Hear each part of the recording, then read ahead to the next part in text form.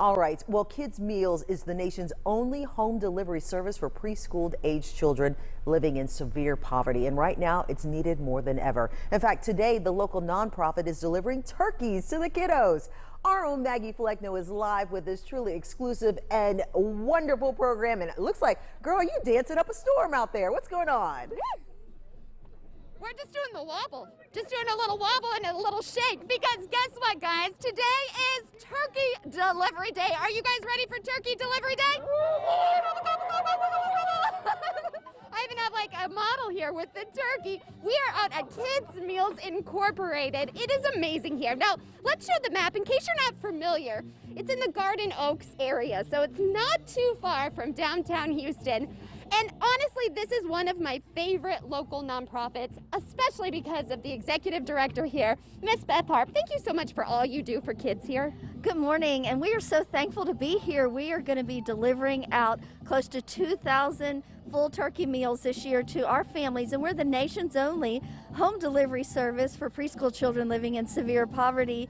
And we just really want to thank Atlas Restaurant Group today for donating all these amazing turkeys, and we're going to be able to provide wonderful grocery bags as well.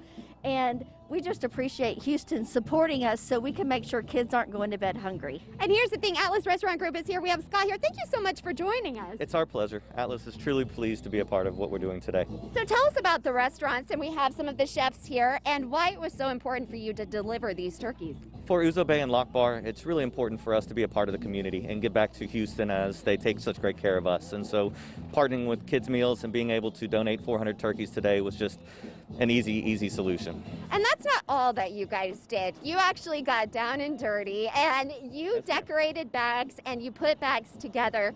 What was that feeling like and what was it like for your team? It was great. We had a, about a dozen team members come out last Saturday. We decorated these great bags. We put about a thousand bags together, and just bringing everyone together, that sense of family, that sense of community is something that Atlas is so proud to be a part of. Well, on behalf of CW39 Houston, thank you for all that you do for the community. And back to kids' meals.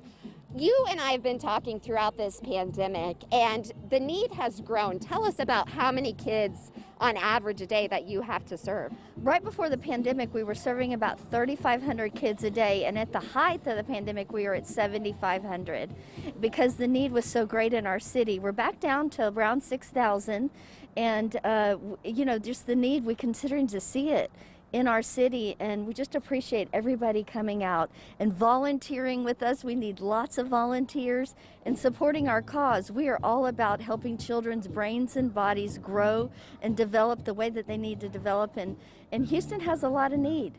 And so we're just so appreciative of everybody that's helping us just feed hungry children in our city. And that's the thing too, is if you want to volunteer because the work doesn't stop just because it's Thanksgiving, then there's all of the other holidays. So yes. where can we go to sign up to volunteer?